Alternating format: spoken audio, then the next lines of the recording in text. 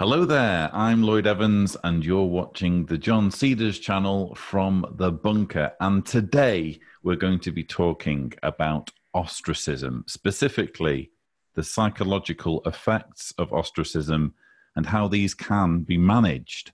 Here to help me better understand this complex issue is Andrew Hales, a postdoctoral researcher at the University of Virginia. Andrew's research involves the psychology of social ostracism, including the perspectives of both the shunned and those doing the shunning. And it's my absolute pleasure to welcome him to the channel. Hello, Andrew. Hello, thanks for having me. I'm absolutely thrilled that you could join me. It's a subject I've been meaning to do a video on for some time now, and part of the problem has been finding someone who um, is willing to devote their time and energies to studying this field. So I guess one uh, obvious question to kick off with would be what prompted you to take an interest in this field of study?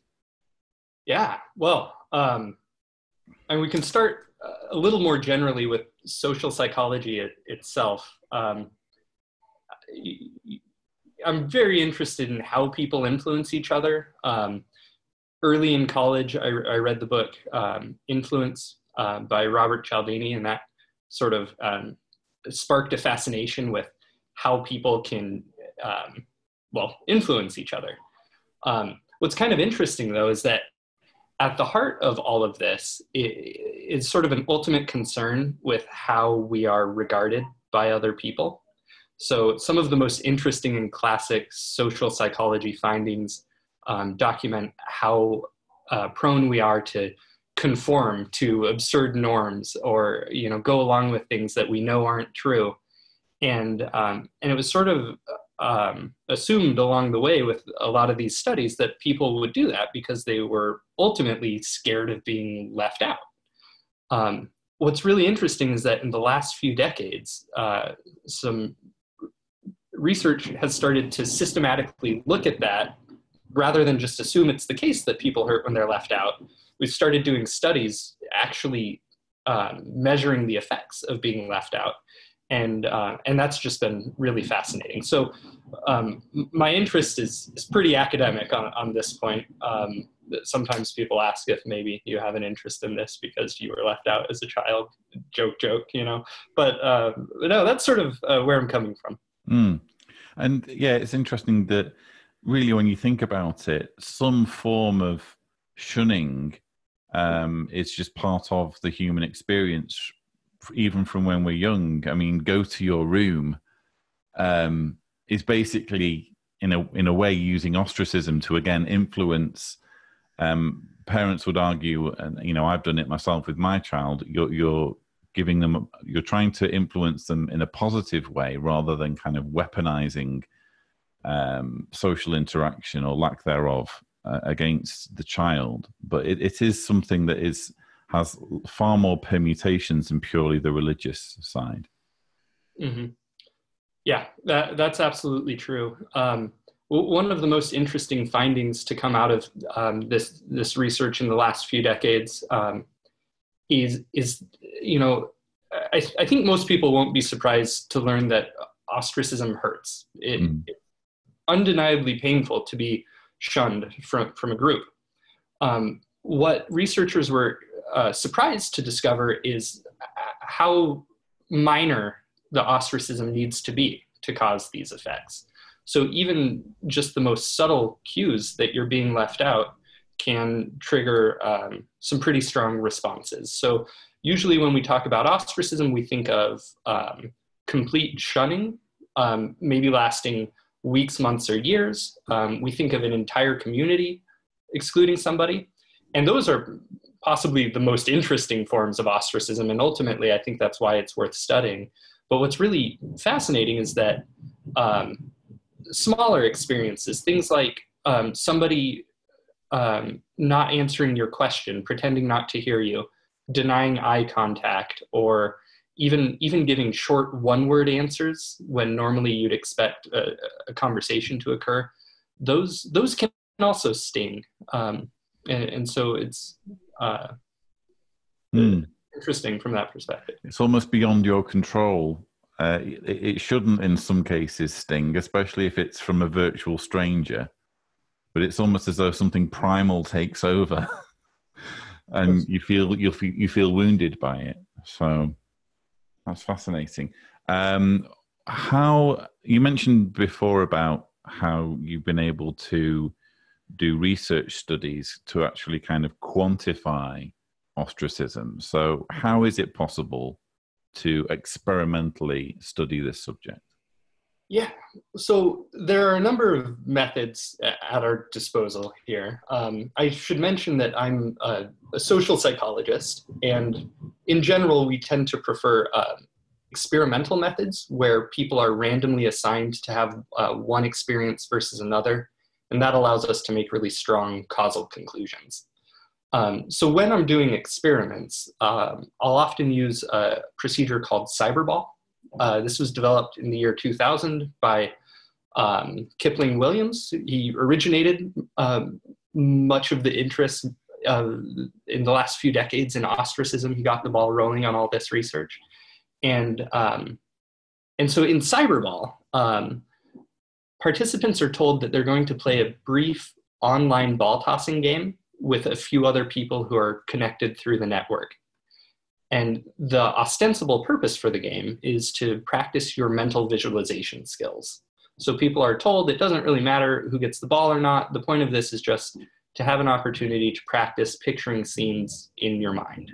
Um, and during the game, people are typically randomly assigned to an inclusion condition um, where the other players, who are in fact controlled by uh, a pre-programmed uh, computer that treats them a certain way, um, they'll either include you fairly, or in a typical ostracism condition, they'll throw you the ball a few times early on. You can see that the game is working as it's supposed to, but then after that, they will um, ostracize you from the game. They'll throw the ball to each other, and um, and it usually lasts just two or three minutes. These are strangers you've never met before. You have no expectation of meeting them in the future. Logically, it shouldn't affect people. But when we give standardized questionnaires afterwards, assessing uh, people's well being and um, levels of what we call four basic psychological needs, we find surprisingly uh, reliable and large, strong effects on people's feelings that they belong, their feelings of self esteem, their feelings that they have control, and their feelings that their existence matters. Sure. And uh, am I right in saying that this cyberball that, you, that you're describing, which sounds fascinating, uh, you, you, mentioned that uh, Dr. Kipling Williams um, produced this or um, originated this exercise. Is it, am I right in saying that this this kind of idea came to him after he um, was strolling through a park and found himself in a game of frisbee with total strangers who initially were throwing him the frisbee, but all of a sudden inexplicably stopped, and he yeah. felt kind of tangible anger and thought this would be a great way of measuring ostracism. Would that be right? Yeah, that that that would be right. Um, as I understand it, he was interested in, in studying ostracism, ostracism prior to that, but um, didn't have quite the right experimental um, approach to doing it. And so that, that seemed to be the aha moment that got it. It you can imagine it's a bit of a challenge because you need something that's um, ethical to perform on humans, something that gives a small dose of what the experience is like without, of course, devastating people. It's important that everyone leaves feeling okay. Sure. Yeah. No, it's it's fascinating, um, and I think perfectly again describes how, in some cases, it doesn't make sense, especially if it is virtual strangers who, as you mentioned, you have no anticipation of having any bonds with in the future. But it's almost like we're, we're programmed to have these reactions. It's bizarre. Um, so that being the case, what has been learned about the effects of ostracism on the one who is being ostracized? Mm-hmm. Um, quite a bit. So it helps to structure this around a, a, theory so we can sort of organize the findings that have accumulated over the years.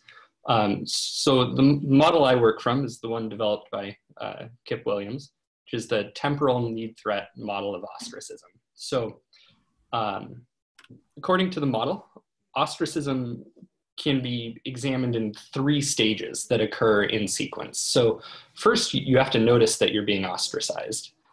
What's surprising here is that people are highly, highly sensitive.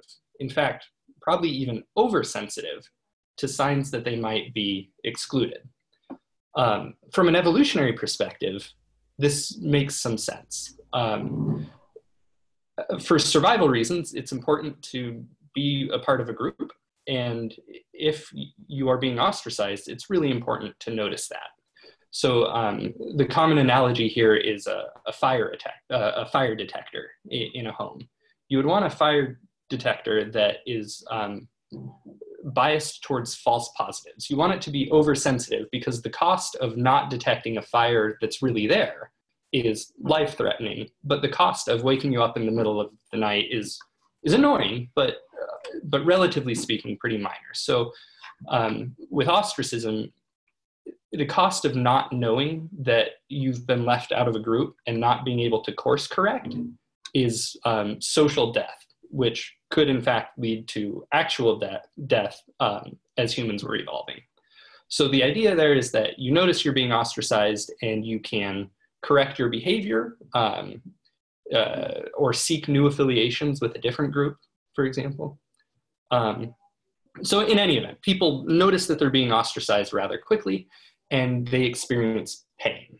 Um, pain is not hyperbolic. Um, it's not an exaggeration to say that people literally experience pain when they're being left out uh, brain scanning studies have been done using Cyberball, and they've found uh, meaningful overlap between the parts of the brain that register physical pain and the parts of the brain that register the social or emotional pain of being left out. So rather than it simply being a questionnaire based experiment, you were actually measuring brain activity while people were playing the cyberball. Yeah, so that yeah. was um, uh, from an earlier paper in the early 2000s, and, and they did in fact um, measure brain activation during cyberball. Fascinating. So it, it's like you say, it's not hyperbolic; it's actual pain. Um, behaviorally, how does how does ostracism or the effects of ostracism how do they manifest? Yeah, so that's where things get a little more complicated. Um, so it's certainly painful to be ostracized. Um, we know that it threatens those four basic needs that I mentioned. You, you know, you, you feel like an outsider. It's a little different than just having a conversation where someone might call you a mean name because you can always yell back at them and then they'll, they'll yell back at you and you're participating in your social environment. But with ostracism, you get to see the world carry on without you as if you aren't there. And it, could be this surreal experience of life without you. And um, and so ostracism is unique in that it threatens all four of those needs rather than just one or two. So behaviorally, there are a few ways to um, to respond to it, and uh, the, the, research here is um, uh, a bit of a mess. So um, people can respond, let's say crudely, three different categories here, and predicting when someone might take one course versus another is a rather complicated thing to do. And, and so maybe we can come back to that. But in general, people can respond pro socially. I mentioned that the pain of ostracism is thought to be functional. It helps alert people that their behavior might need to, to change to get back into the group.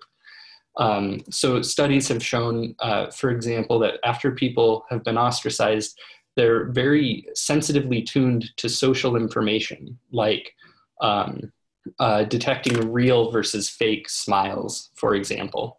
Um, they're also more likely to uh, conform to a group norm after they've been ostracized, um, more likely to um, obey uh, um, an authority figure, things like that. So behaviors that are generally pro-social and going along to get along.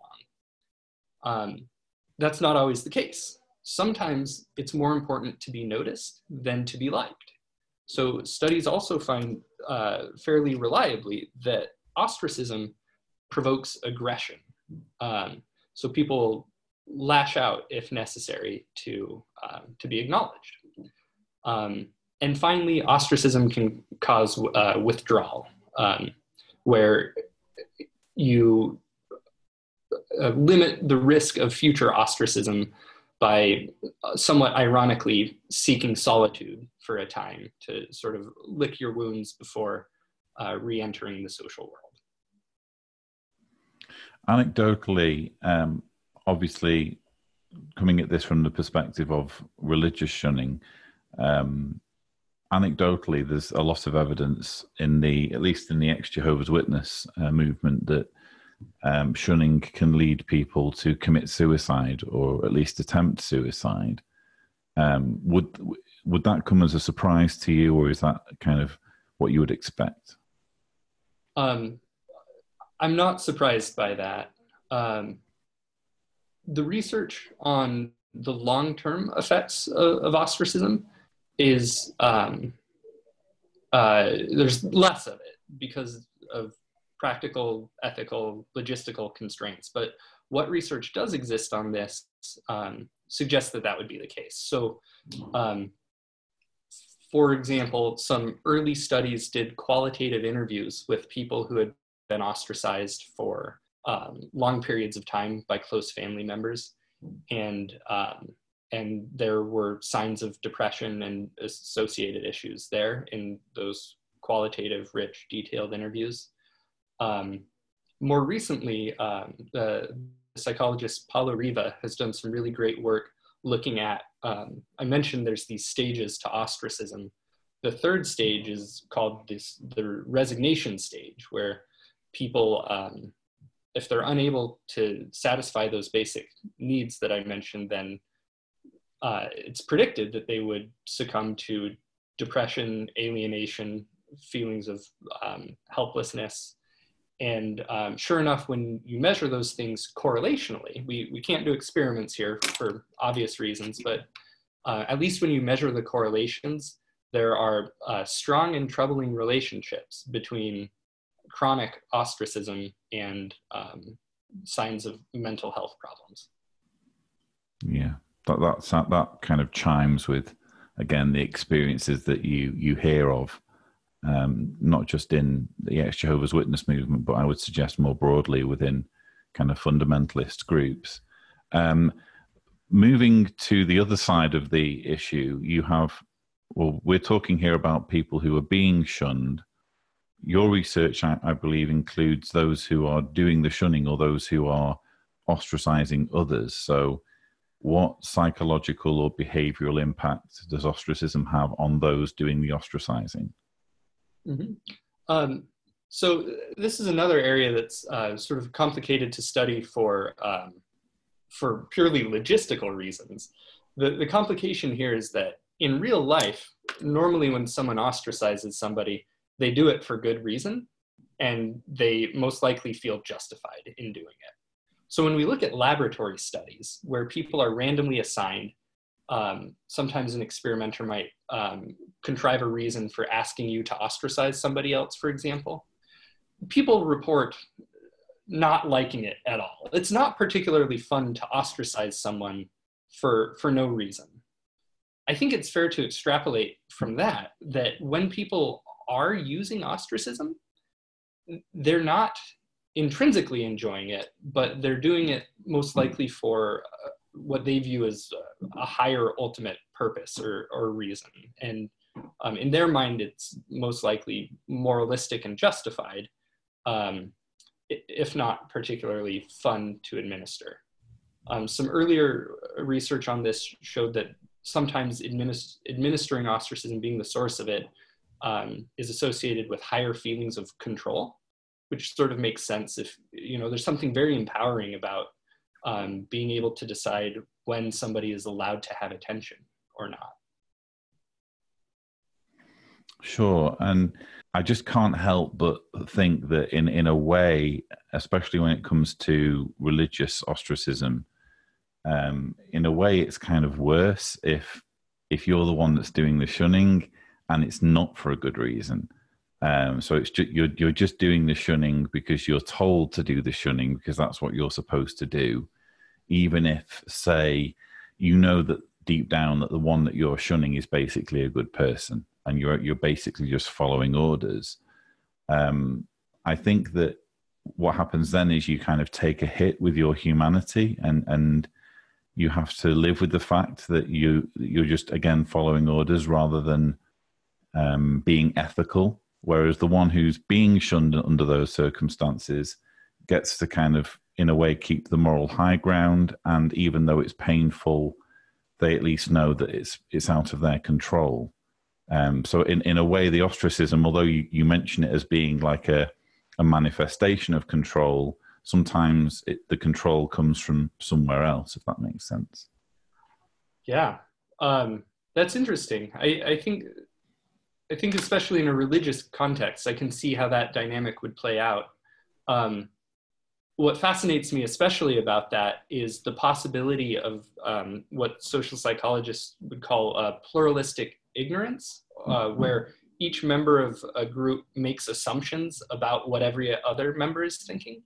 I could imagine a scenario in which um, I'm ostracizing this person because I was told to, even though I don't think it's right, but this whole group thinks it's right. But if we were to interview every member of the group, we might discover that they're thinking the exact same thing that I am, which is just passively assuming that that I want to be ostracizing, even though I, would rather not.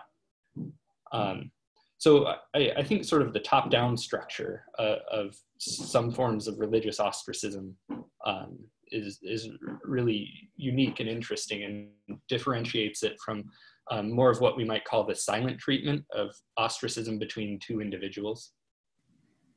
Indeed, yeah, I can, and which is why I'm glad that you're studying it because there's, as far as I can tell, there's studies of ostracism, but not necessarily always studies of um, religious ostracism, which, you know, just in the way I've explained, where you know someone's shunning because they're following orders as opposed to doing it because they think it's the right thing to do the dynamic kind of subtly changes there. So I'm glad that it's being um, studied. Um, do reactions to ostracism differ from, we mentioned before, say, a virtual stranger shunning you versus a close family member? Mm-hmm. Um, almost certainly. Um, so I am not aware of any studies that have directly compared apples to apples, but the whole spirit of the experimental cyberball type approach that we take is to create the most minimalistic forms of ostracism. See if those have an effect. And if even that hurts, then I, I think it's a fair assumption that ostracism for long periods of time between family members who know each other uh, is almost certainly more hurtful. Now, there have also been correlational studies looking at ostracism within families. And those patterns of cor- correlations corroborate that. So, um, family ostracism has been studied. Um, Joan Poulsen is a psychologist who's done some great research here. Um, one interesting um, indication that came out of that research, I'm uh, curious if you have any thoughts on, is that um, apparently often um, it takes a big event to terminate the ostracism so you know without some life altering um, big occurrence to reunite people it could go on indefinitely. Mm. and that fits with earlier qualitative research showing that you know sometimes people report at least that they get caught in a web where after you've ostracized for so long it's so hard to to admit you were wrong and, and reconnect with someone. Yeah i think there's definitely um, how can how can I put this? Um, when when you're shunning for a long period of time, you're kind of in in a way invested in it, so that if you were to kind of suddenly do a U-turn, you then have to account for all of the years perhaps when you were shunning that person. Uh, it, it's probably easier in some ways to just continue um, as you were. Um, but I also think that the again the the control element of ostracism isn't to be um, underestimated because you mentioned that it can require a big jolt, as it were, like a life changing event to end the ostracism. And what more life changing can you get than finding out that the religion that you've been devoting your life to actually is is wrong or in some way abusive or unworthy of your loyalty and devotion so that you're turning round to the control the controller who's ordering you to shun your your loved one and you're saying i'm no longer following your orders. Um, that is a massive deal when again you've invested so much of your life potentially years or even decades to uh, you've invested it in this religion and then all of a sudden you you know the, the scales fall and you realize you know you, you're you're brought into reality in a very jarring way. So yeah i can imagine it being a, a big deal to to do a u-turn. Yeah certainly. Um, what can victims of ostracism do to try to mitigate the psychological impact? Mm-hmm.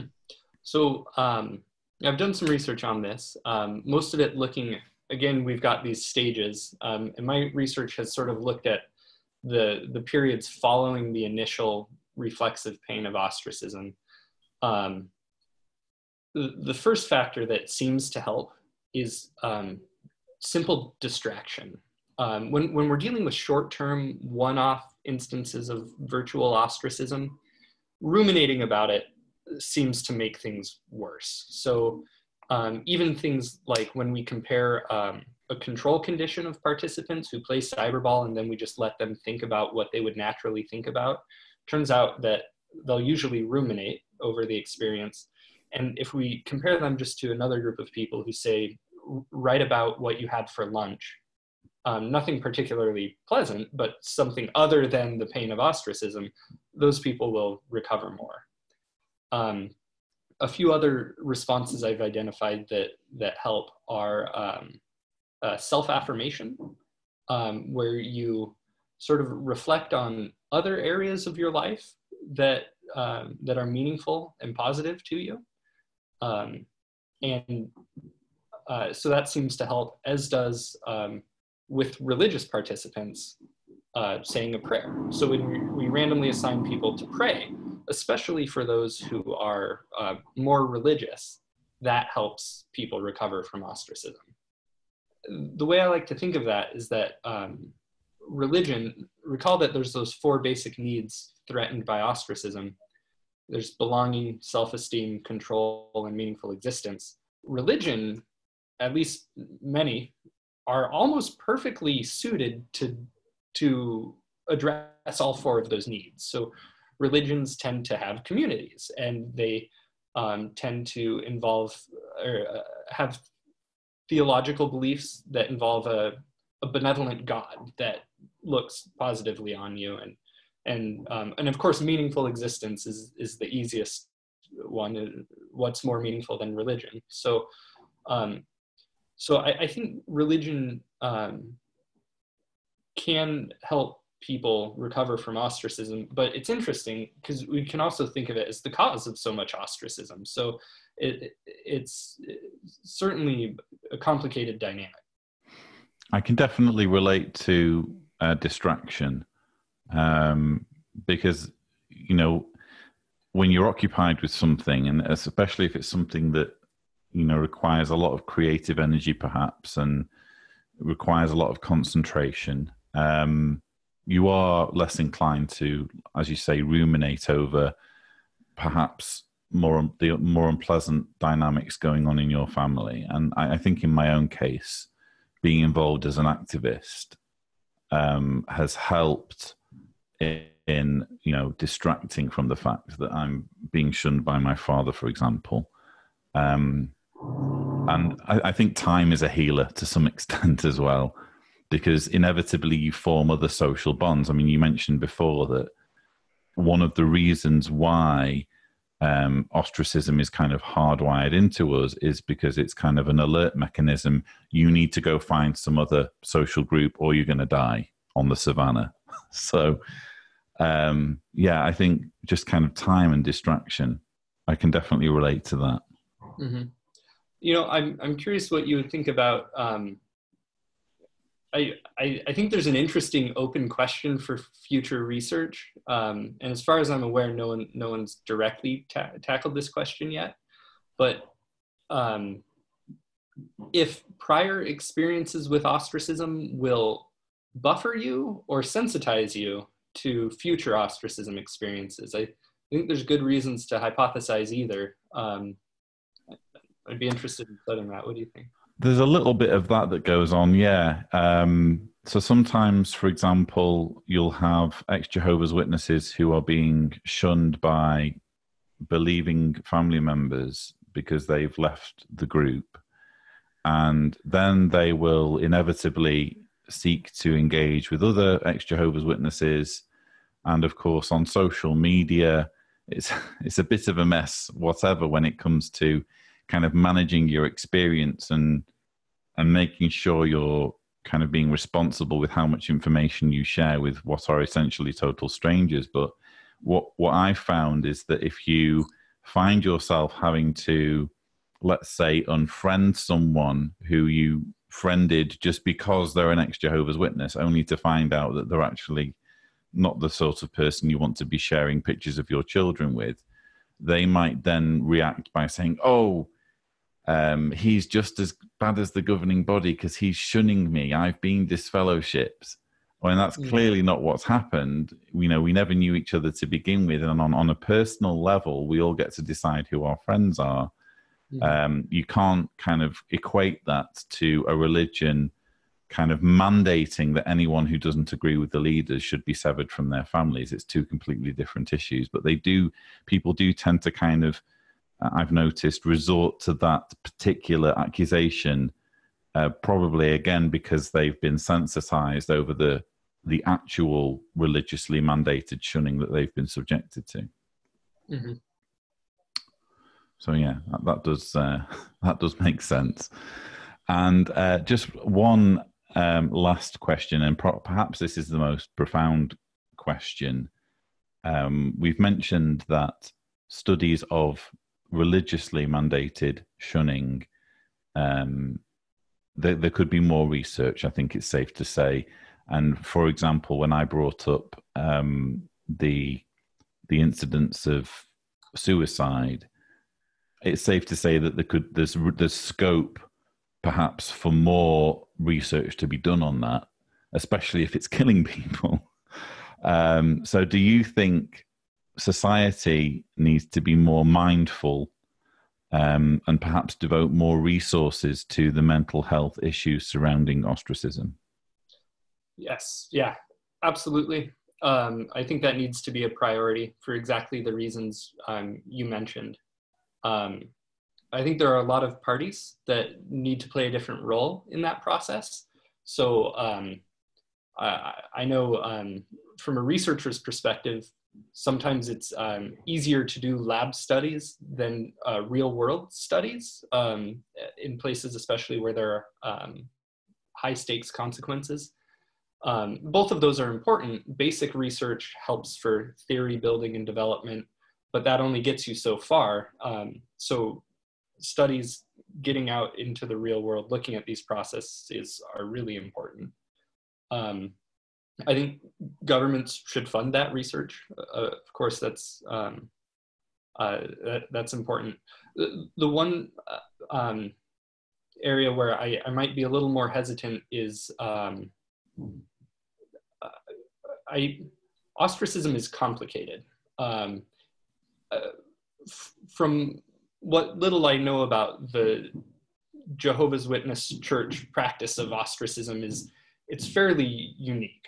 Um, and I think its uniqueness is, is why maybe that particular version of ostracism should be um, should be studied. But more generally, I, I, hesitate to tell people not to use ostracism because I think it's functional um, in many in many cases. In in our day to day lives, for example, um, I, have done some research on the trait of disagreeableness. Um, interpersonally, person to person, we're more likely to ostracize others who are disagreeable. And that tends to help protect us from interaction partners who might take advantage. And I think that's okay. And that strikes me as maybe kind of similar to you selecting your friends on, on Facebook. Like that's um a version or a dose of ostracism that that I'm comfortable with. Um, so so setting that aside, absolutely looking at um, long-term chronic ostracism, especially in an organized, concerted fashion. Um, there needs to be more research on that um, for sure. Sure. And I'm stretching you now. so feel free to kind of say that this is way too taking it too far. But uh, I'm interested in um, in ways of finding solutions to the more abusive elements of of religion. I, I'd, I like to think that even if things aren't perfect now, that future generations will figure out ways of curbing um, abuse that's done in the name of religion and when it comes to ostracism, um, it seems to me, again, mostly anecdotally, that we have um, something that is weaponized as a means of control to stop people from uh, disagreeing with the leaders and to make sure those who do disagree with the leaders are punished by being ejected. And uh, the Jehovah's Witness publications make no attempts to disguise the fact that the, that this is basically emotional blackmail. That they expect those who are being shunned to want to um, repair their relationships with their families by returning to the religion, regardless necessarily of whether they agree with it or not. So I'm interested in knowing what can be done to stop religions from utilizing ostracism in quite such a malicious way. can you foresee a time when religions that do weaponize ostracism are penalized in some way, perhaps by, for example, losing um, tax um, tax exemption. Hmm. Yeah, well, that's yeah. I mean, there's a lot there. Um, I'm stretching you. I told you at the beginning, but I'm I just interested. Yeah, I, I mean, tax exemption is that seems to be one area where public opinion might be able to get a, a toehold on on what private religions are are able to do. Um, before that comes into play, I think conversations like this, I hope, will will help with that. Simply raising consciousness uh, about um, how serious and consequential ostracism can be.